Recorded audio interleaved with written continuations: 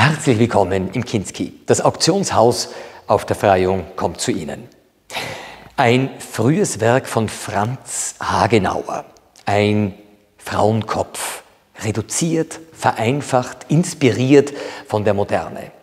Art Deco und das Hinüberschreiten in eine neue Ästhetik, die sehr stark auch inspiriert ist von einem Brancusi in Paris beziehungsweise Modigliani, fast wie die reduzierten Köpfe der Mannequins in den Auslagen und doch ein Kunstwerk von höchstem Ausdruck und großartiger Intensität.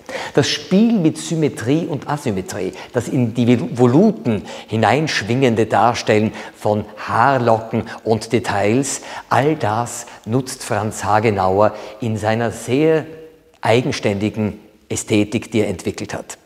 Jener Künstler, der hineingeboren wird in eine Metallverarbeiter- und Expertenfamilie, nämlich Ziseleure und Gürtler, also jene, die alles, was auf Kutschen aufappliziert wurde, ursprünglich aus Metall getrieben, eine Familie, die aus der Tradition Wiens, der Bronzengestaltung, der kleinen Skulpturen sich entwickelt hatte und eine der führenden international wahrgenommen wurde.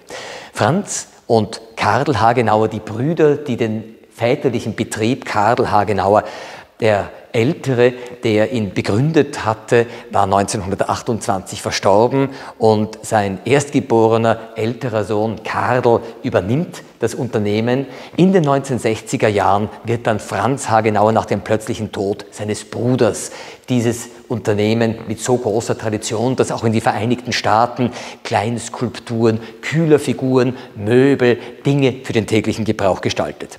Nun Franz Hagenauer war sein ganzes Leben lang an der Schule, dem KK Museum für Kunst und Industrie angeschlossen, ausgebildet, aus seinem Selbstverständnis heraus Bildhauer. Und doch war er die meiste Zeit seines Lebens gezwungen, auch im elterlichen Betrieb sich einzubringen und zu engagieren. Und zwischen diesen beiden extremen Polen, nämlich Kunsthandwerk auf höchstem Niveau, Hervorbringung von Objekten, die wir heute als Design in maximaler Qualität bezeichnen würden und Objekten, die sich ganz im Sinne der Moderne aus der Art Deco-Kunst heraus entwickelten, pendelt sich dieser Franz Hagenauer bis zu seinem Lebensende ein. Ganz früh nimmt er sich die Freiheit, Objekte wie diesen Kopf zu gestalten. Ganz spät, als er dann selber Lehrender an der Universität für angewandte Kunst ist, wird er wieder zu seinem ursprünglichen Berufensein zum Bildhauer zurückkehren. Ein Glanzlicht der kommenden Sommerauktion hier im Kinski. Nutzen Sie die Gelegenheit, lassen Sie das Werk auf sich wirken.